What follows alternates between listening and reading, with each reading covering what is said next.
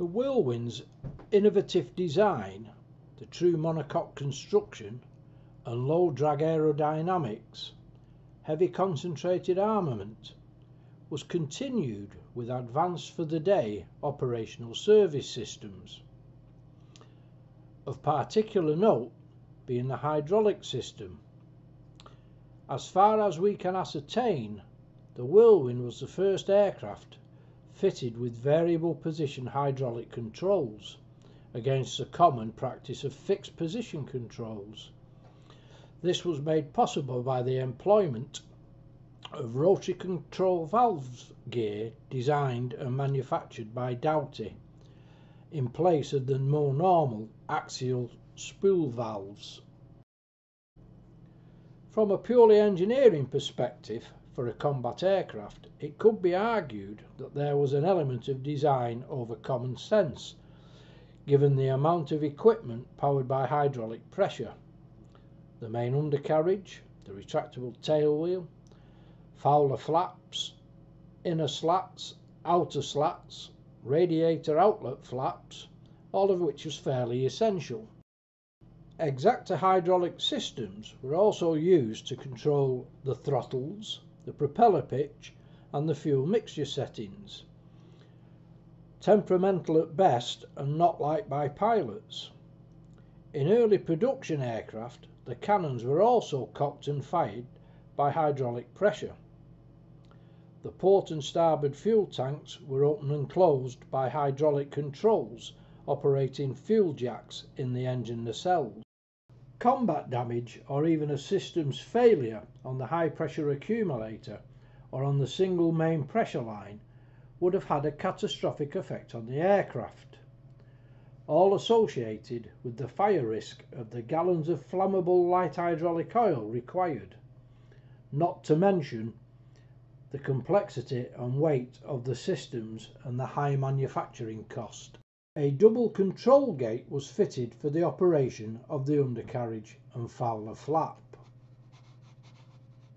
The undercarriage gate lever operated a spool hydraulic valve connected to the double acting jacks.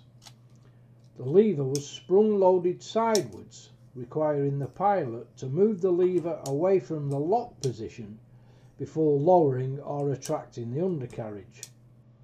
The lever springing into the opposite lock position at the end of the cycle. The flap lever operated a rotary valve allowing for variable movement of the Fowler flap. Like the undercarriage gate, the flap lever was also sprung loaded, working against a series of notches in the gate, allowing the pilot to select the appropriate flap angle the windscreen de-icing equipment was operated by the pilot via a Ki-Gass plunger pump situated at the top of the port side instrument panel. The pump followed the standard Ki-Gass pattern, having a screw down front cap attached to the piston rod working the piston head and two opposed one way valves.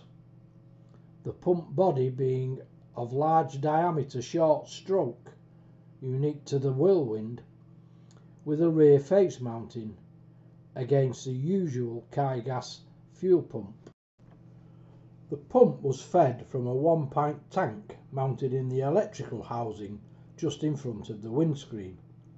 The de-icing fluid being pumped to a spray bar that was situated at the bottom of the windscreen. The engine controls were also hydraulically operated through Exactor manufactured equipment, the fittings being unique to the Whirlwind. The throttle quadrant housing, the port and starboard throttle levers, and the single fuel mixture lever.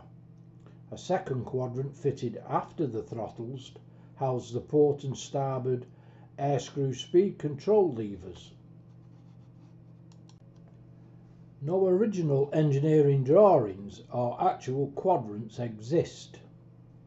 Both quadrants have been re-engineered from the very few photographic images there are and the information from the AP manuals. While both quadrants are functional, Due to the complete lack of information, the hydraulic internals have not been manufactured. The port and starboard fuel hydraulic cocks operated double acting jacks in the engine nacelles. A complex system given that both engines needed ground crew assistance to prime them before starting. Even with all the complexity and sophistication of the fuel system, the Whirlwind was never designed with an engine or fuel tank cross fueling transfer system. A very strange design decision given a twin engine layout. Of even stranger design intent was the inclusion of hydraulically operated landing lights. The system had variable positioning control from a lever on the port side of the pilot's seat. The Exactor system lowered or retracted the lights positioned under the outer main planes. No information now exists of the complex mechanical mechanisms or hydraulic valve assemblies required to operate the system. While the lever and release button function, the equipment has been locked in the fully retracted position.